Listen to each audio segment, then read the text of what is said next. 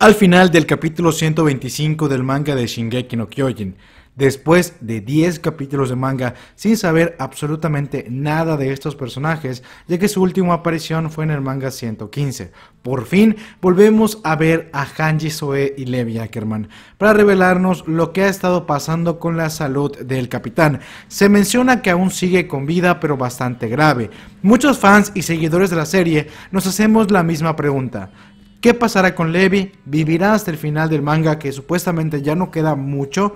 ¿Obtendrá un poder titánico? ¿Qué es lo que pasará? En este video trataré de explicarte los posibles, posibles futuros que podrían esperarle a soldado más fuerte de la humanidad. Por lo cual este video va a consistir en que te voy a presentar diferentes opciones de lo que puede ocurrir con él. Bien, comenzamos. Opción 1. Levi sanará y volverá. Levi se recuperará gracias al contacto que está haciendo Eren con el poder del titán fundador. Como se explicó anteriormente en el manga 114, el titán fundador tiene la capacidad de entrar en contacto con todos los eldianos. Sí, lo sé. Hay que hacer un gran paréntesis para explicar que los Ackerman no son unos eldianos comunes, sino que son humanos que pueden acceder al poder titánico teniendo un despertar que consiste en poder acceder a un conocimiento ilimitado de batalla proveniente de sus ancestros y también obteniendo una fuerza superior a la de un humano. Por lo tanto, si son eldianos o no, no importa mucho, ya que los Ackerman, a diferencia de los asiáticos, los Ackerman sí están conectados al poder del titán fundador, ya que se ha mencionado directamente en la serie que son parte de los poderes titánicos. Por lo tanto, Eren podría entrar en contacto con la genética de Levi. Personalmente, no creo que sea la mejor opción que Hajime Isayama le regrese la extremidad que perdió durante la explosión, es decir, la mano que perdió.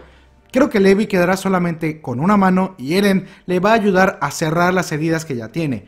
Esto sería impresionante para que el personaje pueda participar en los acontecimientos finales de la serie. Sin embargo, aún no sabemos qué tiene planeado el creador para él. Por lo tanto, es posible que aún nos espere quizás aún un salto de tiempo para que Levi sane sus heridas naturalmente. Hay que recordar que se mencionó directamente en la serie que los Ackerman con el poder despertado tienen más vitalidad que un humano común. Por lo tanto, esta misma vitalidad se podría aplicar a la regeneración de tejidos para que sanen por lo que no recuperaría todo lo que perdió, pero sí podría sanar completamente y volver a ser funcional. Por lo tanto, esta vitalidad que se ha mencionado desde el arco de la insurrección podría aplicarse acá. Opción 2. Alianza con Pick, el titán carro y el sargento de Marley. Hay un dicho que reza de la siguiente manera. El enemigo de mi enemigo es mi amigo.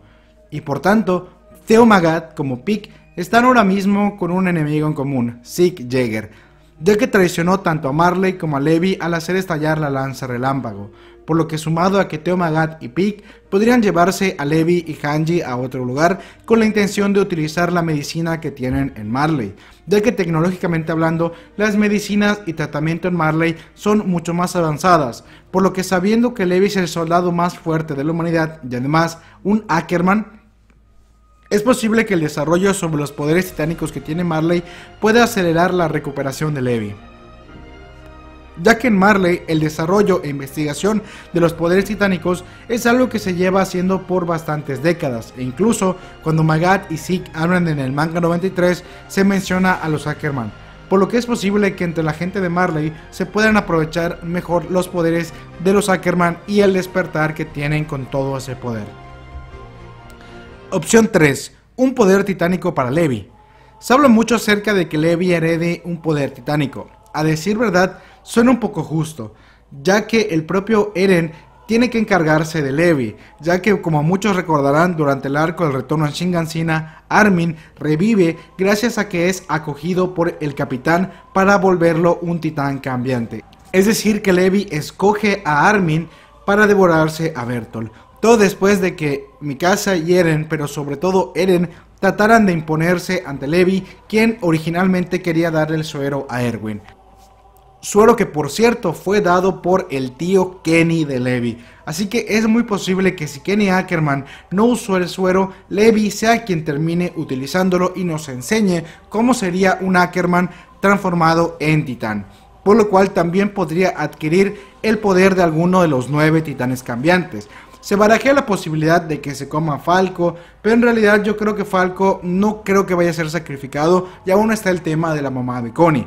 Personalmente, pienso que quizás Reiner, quien ahora se encuentra fuera de combate, podría ser tomado por los Jagueristas o por Jan, Mikasa y Armin, y podría darse algo con el titán blindado. Incluso es posible que ahora que Erena está utilizando el poder del titán fundador, pueda traspasarle uno de los poderes que tiene, ya sea el del titán martillo o el Shingeki no Kyojin.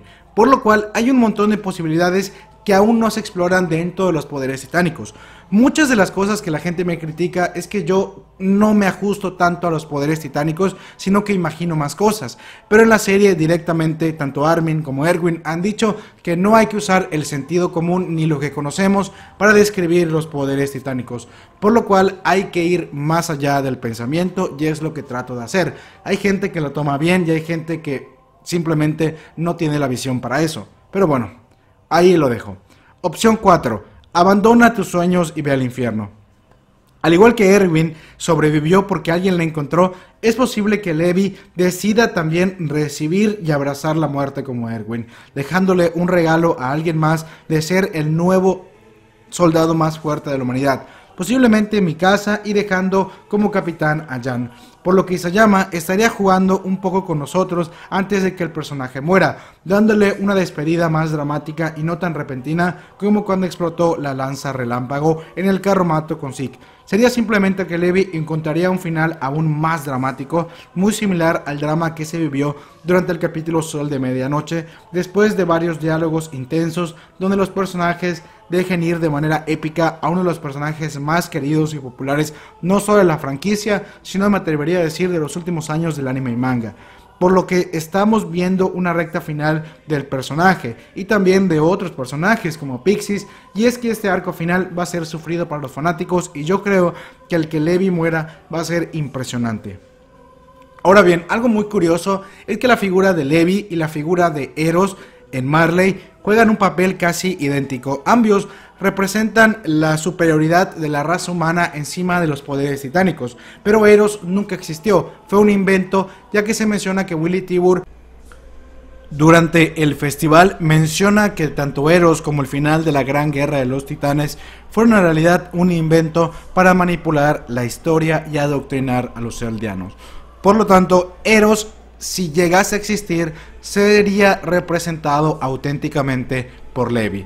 Por lo tanto, me parece que Hajime Isayama está preparando quizás una última batalla para Levi donde se alce por fin como el soldado más fuerte de la humanidad.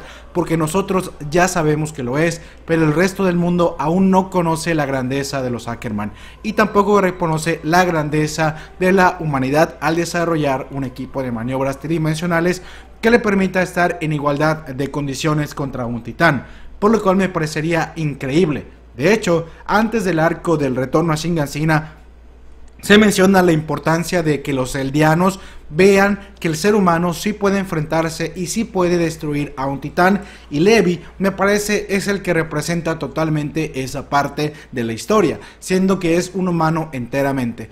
Por lo cual, aunque me gustaría verlo con un poder titánico, personalmente yo creo que se tiene que quedar como está porque representa precisamente eso, que la humanidad se alza encima de los poderes titánicos. Sin embargo, te digo, es meramente mi visión del personaje y de que sea el soldado más fuerte. Muchas, muchas gracias por llegar al final de este video. Agradezco que lo veas hasta el final, que me escuches y que pues esta sea una pequeña despedida después de tantos minutos de escucharme. De verdad lo agradezco mucho. Eh, sinceramente solo quiero decir que en serio estoy muy agradecido por la gente que me tira buena onda en los comentarios, que les gustan los últimos videos que he estado haciendo. De verdad he estado tratando de consumir mucha arte y cultura mucho más allá de la evidente en la serie para expandir mi disfrute y que ustedes también tengan un disfrute más allá. Por ejemplo, en el último video hablamos acerca del arte, las edades de la humanidad, la edad de oro, de plata y demás. Porque quiero que ustedes no solo aprendan de Shingeki, sino que también tengan un arte y cultura que les permita disfrutar también de otras series que tienen estos mensajes muy parecidos acerca de muchas cosas. Por lo cual mi intención es que ustedes disfruten no solo de Shingeki, sino que del arte en general. Y estos videos tienen otro propósito. El video como el de ahorita son videos más imaginativos acerca del futuro de la serie. Por lo cual, eh, gracias a los que tienen la madurez suficiente para disfrutar este contenido. Y de verdad agradezco muchísimo un montón del apoyo porque de verdad me siento contento y respaldado por, con la gente con esos videos y no tengo las palabras suficientes para agradecerlo. Muchísimas gracias, de verdad, muchísimas, muchísimas gracias a los que realmente me apoyan y pues bueno, gracias por disfrutar este contenido.